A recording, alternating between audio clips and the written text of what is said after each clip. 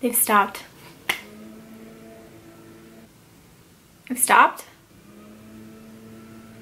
Now I think he's just messing with me. Hi guys, my name is Alexandra and welcome back to my channel. So I have done a what's in my writer's bag that I take with me when I go to coffee shops and I am writing out of the house. This is going to be a what's in my purse, but it's going to be a writer or reader's edition. I love these videos. Whenever I watch these types of videos, what's in my bag, what's in my purse, I almost never see anybody pull out like a book or a notebook. I am wondering if that is something that I only do or is that something that a lot of readers and writers do? Whenever something is awkward, I usually go to a book or a notebook. And if I don't have one of those things, I feel kind of lost, to be honest. Okay, so let me show you the purse. So this is my bag. And actually my mom is the one who bought this bag for me. And I love it so much. It is a Steve Madden bag. So the very first one is this zipper. In the very first zipper, I just keep my wallet. And I'm not gonna open this obviously because it's got like personal information and stuff like that. But I've had this wallet for years, but I like to keep it there because I reach for it the most and so I don't like to have to dig for it. So I always keep it on the side pocket zipped up. In this little pocket, this is the pocket here, I keep my phone. This is my phone.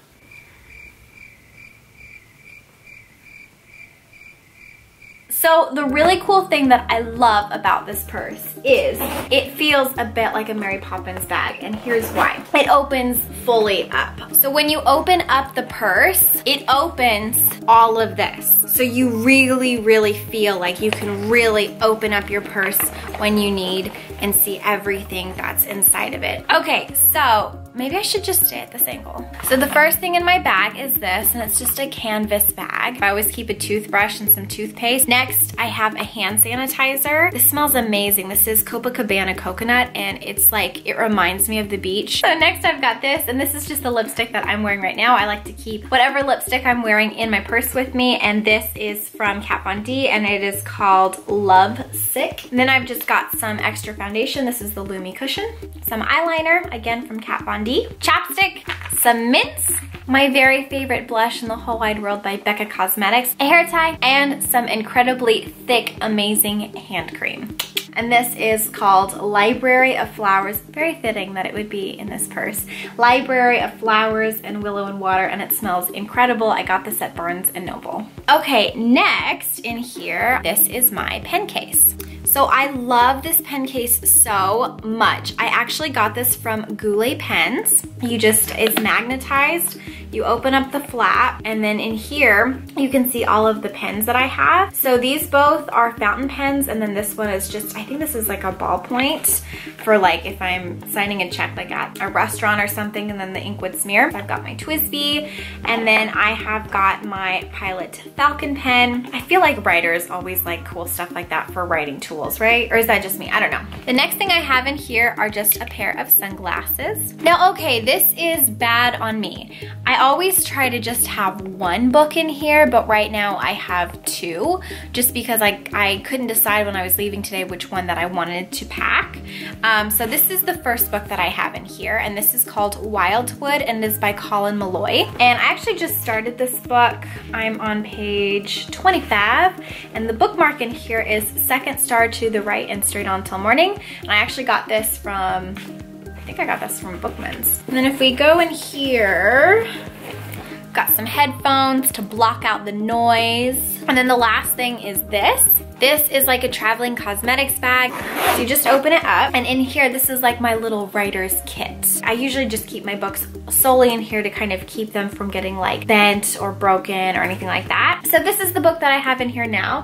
It's by Robin Hobb and it's called Assassin's Apprentice. I have yet to start it, but I'm gonna start it this month. The next thing I have is a sketchbook and this is just a moleskin sketchbook. I've got some post-it notes. I like to keep little post-it notes with me all the time because I like to mark certain places in a book that I think think are important, that I like, that I didn't like, so that if I wanna do a review on it later, I have references. And then this I use for when I'm writing so that I can write down scenes and ideas and like stick them in around different things in a notebook. A mechanical pencil for when I'm drawing or sketching. And then the last thing I have is my traveler's notebook. And this is in the color camel. I'm sorry that the lighting has changed. It's like midday and yet it is so incredibly dark outside. I love these traveler's notebooks because you can put as many of these little booklets inside and I use each one for a specific character. So if I'm specifically developing a side character or the love interest, I like to devote an entire book just to that character so that I really, really know what the character looks like and who the character is, all that kind of stuff. And I do that with setting, place. So right now the first one is just for random ideas for the story. The second one is a character that I'm developing and the third is a location in there, which is like a tea shop. And then I like to have these things if I want them to stay open to a specific page, I can go ahead and clip them.